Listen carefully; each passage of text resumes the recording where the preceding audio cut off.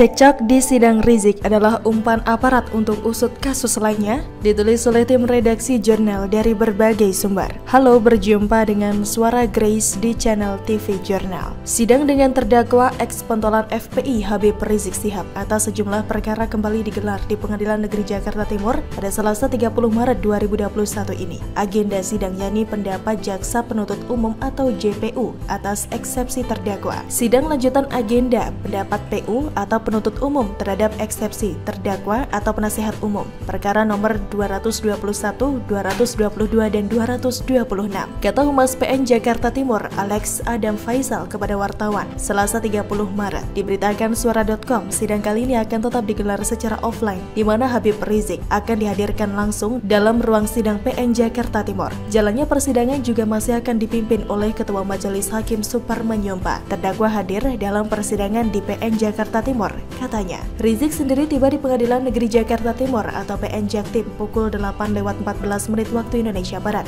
disambut gerimis. Sedangkan beberapa pengacaranya yang terdiri dari Aziz Yanuar, Ikhwan Tuan Kota, Sugito Atmo Prawiro dan lainnya justru tertahan di luar ruang sidang dan terlibat cekcok dengan pihak kepolisian. Dilansir dari kompas.com, tim kuasa hukum Rizik Sihab ingin masuk ke dalam gedung PN Jaktim, namun polisi meminta tim kuasa hukum Rizik Sihab bersabar menunggu. Sabar, nanti di dipanggil, kata polisi. Bukannya bersabar, salah satu anggota tim kuasa hukum Rizik, Aziz Yanuar justru naik pitam dan meminta rekan kuasa hukumnya yang telah berada di dalam gedung PN Jakarta Timur untuk keluar lagi dari gedung itu. Keluar aja semua biar gak ada lawyer, biar gak ada lawyer, biar sidang sama tembok. Keluar, keluar, teriak Aziz. Kuasa hukum Rizik yang lain, Ikhwan Tuan Kota juga ikut menimpali dengan suara lantang. Keluar, keluar, sidang sama tembok. Mereka memang tidak pernah ada kapoknya. Sejak sidang pertama Rizik, mereka ini banyak sekali tingkahnya. Sidang online, mereka walk out, dia membisu hingga ada adegan sholat dan mengaji. Mereka masih juga bikin gaduh dan banyak maunya. Dalam sidang offline Jumat lalu, tim kuasa hukum Rizik juga terlibat cekcok dengan petugas keamanan lantaran tidak diperkenankan masuk ke ruang sidang pengadilan negeri Jakarta Timur. Hanya beberapa orang dari kuasa hukum yang diperbolehkan masuk, padahal alasannya sudah jelas. Di masa pandemi seperti ini mutlak dilakukan pembatasan untuk meminimalisir penularan. Harusnya mereka tidak memikirkan ego mereka sendiri. Mereka pun harusnya sudah hafal di luar kepala kalau Rizik terjerat kasus karena mengumpulkan masa dalam jumlah banyak dalam waktu dan tempat yang sama. Kalau mau semua dihadirkan,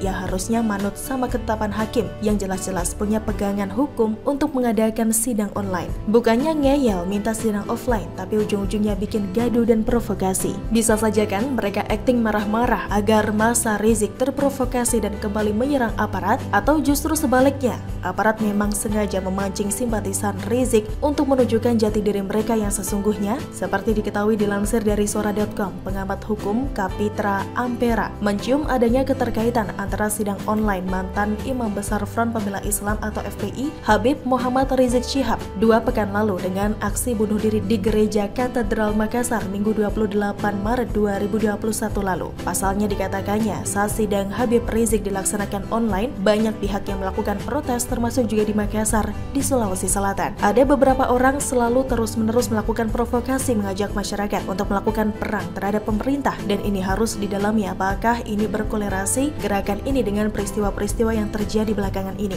Karena kita harus temukan benang merahnya. Ujar Kapitra. Saat live di iNews dalam Breaking News Minggu 28 Maret 2021 apa yang diungkapkan Kapitra bisa jadi benar Ormas Basutan Rizik memang sudah dilarang pemerintah tetapi akar radikal dan intoleran masih mencengkeram kuat di tanah bumi pertiwi ini. Kasus serupa pun bisa jadi tidak hanya mengguncang Makassar, tapi di sekitar ibu kota juga sudah terlacak adanya terduga pelaku aksi yang tidak berperi kemanusiaan itu. Sebagaimana kita ketahui Makassar adalah basis utama kelompok macam Rizik. Mungkin jika ditarik benang merahnya, kejadian yang mengguncang negeri ini bukanlah suatu yang kebetulan, tapi seolah semua sudah ditata dengan sistematis, terstruktur, dan masif.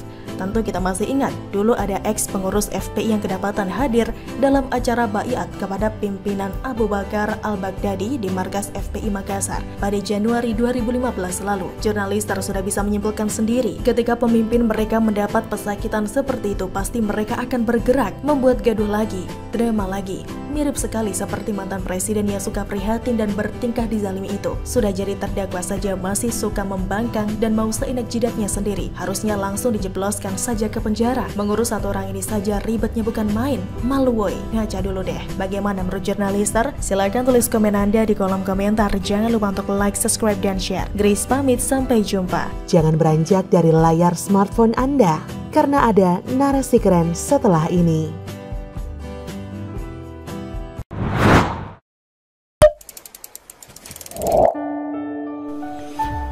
Muldoko belak-belakan jelaskan alasan kenapa mau jadi ketum Demokrat ditulis oleh Ayas di seaworld.com. Halo Assalamualaikum, berjumpa dengan Samara di channel TV Jurnal. Sebelum berlanjut ke informasi selengkapnya, jangan lupa bagi para jurnalister yang belum klik tombol subscribe, silakan untuk klik dulu tombol subscribe-nya dan juga nyalakan loncengnya. Saya termasuk orang yang tidak suka dengan pernyataan lebay dan mengharu biru dari para politisi. Misalnya, ketika ada yang mengatakan alasan gabung partai adalah untuk menyelamatkan bangsa. Saya lebih suka politisi yang tidak banyak ngomong dan jujur, serta tidak merasa dirinya paling hebat dan merasa jadi juru selamat. Dalam konflik Demokrat AHY versus Demokrat Muldoko, saya tidak mendukung keduanya. Siapa pun yang akan resmi menjadi ketua umum Demokrat nanti, saya tidak terlalu peduli. Saya juga tidak pernah memilih Demokrat. Hanya saja, saya cukup gerah dengan politisi-politisi lebay baik yang ada di Demokrat AHY maupun Demokrat Muldoko.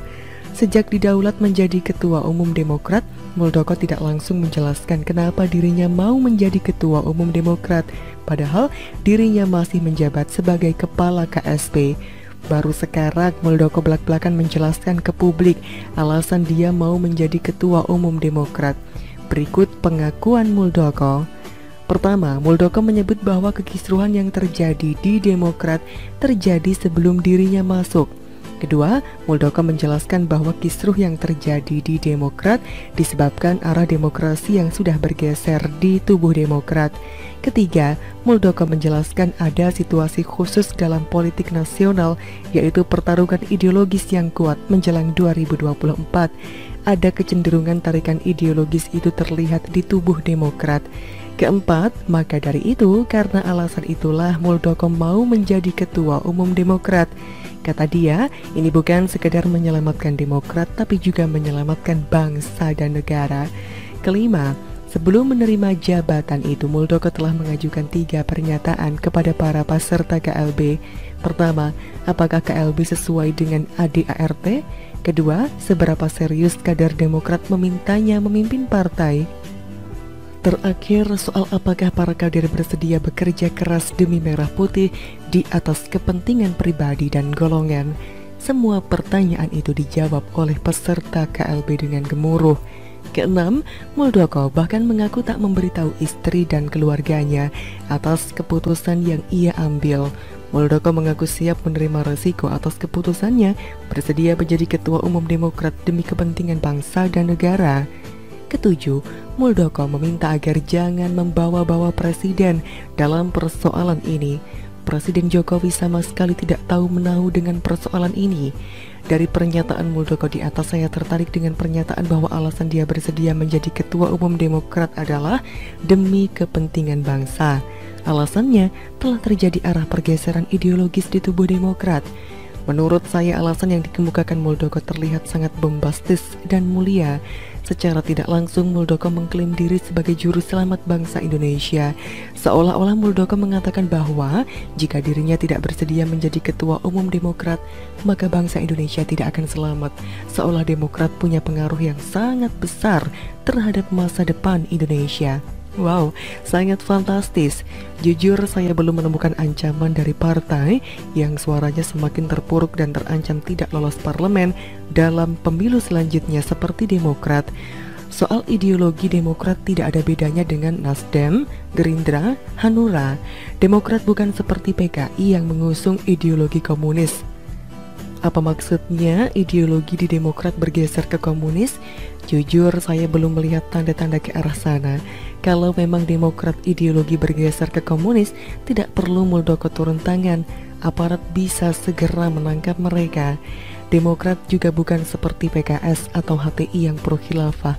Demokrat masih tetap seperti partai-partai lain yang ambisius mengejar jabatan dan kekuasaan. Memang benar banyak kader Demokrat yang korupsi, tapi di partai lain juga ada. Dengan suara Demokrat yang semakin kecil, apakah keberadaan Demokrat begitu berpengaruh terhadap masa depan Indonesia? Jujur, saya lebih suka Muldoko menjelaskan bahwa alasan dia bersedia menjadi ketua umum Demokrat adalah karena memang dia ingin terjun ke dunia politik dan memang tertarik menjadi seorang presiden. Lebih baik hal ini yang disampaikan, lebih jujur dan gentle. Alasan ini juga tidak menurunkan wibawanya, sebab setiap warga negara punya hak untuk terjun ke dunia politik, punya hak untuk menjadi presiden, tak perlu mengemukakan alasan yang wow dan sangat fantastis. Kesannya malah lebay Bagaimana menurut Anda? Silahkan untuk komentar di komentar. Jangan lupa untuk like, subscribe, dan juga share. Jangan beranjak dari layar smartphone Anda, karena ada narasi keren setelah ini.